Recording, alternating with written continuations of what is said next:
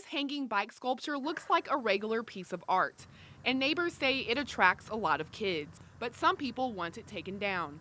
And it got my attention with these bikes up here that they got put up here. You know, I thought it was art and it was nice. But if it got my attention, it'd get another child's attention. The problem?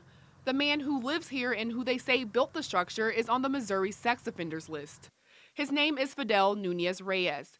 He was most recently convicted of statutory rape in 2004.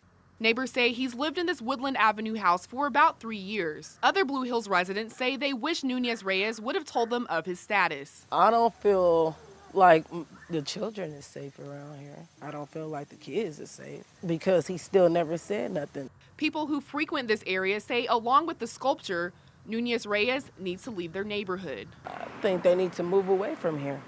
I don't think they need to be here. We reached out to the man who built the sculpture, but he did not answer the door. Now, neighbors say there are a lot of kids in this neighborhood, and Paseo High School is just a few blocks away.